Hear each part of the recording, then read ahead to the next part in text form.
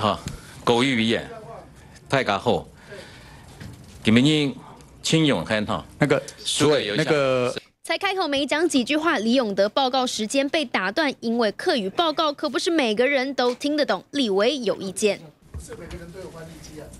好，那个林伟，因为之前其实都会，我我们都是让，因为课语尽量让大家能够尝试去去学习，然后所以有尊重的。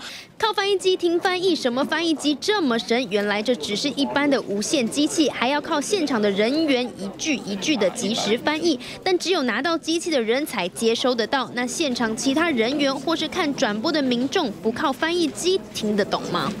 其实头到尾，我们都一点点都没有其他的想法，就没有歧视，甚至于什么变成啊，这个又回到过去什么威权时代。好意被说成歧视，立委好无奈。平时气息暴力的李主席，如今姿态超低，有话要说。我们推广课语来讲啊，也算是一项很大的一个挫折了啊。不过说，我一直强调说，这里是一个立法院嘛啊，所以我们也尊重立法院的整个委员会的决议。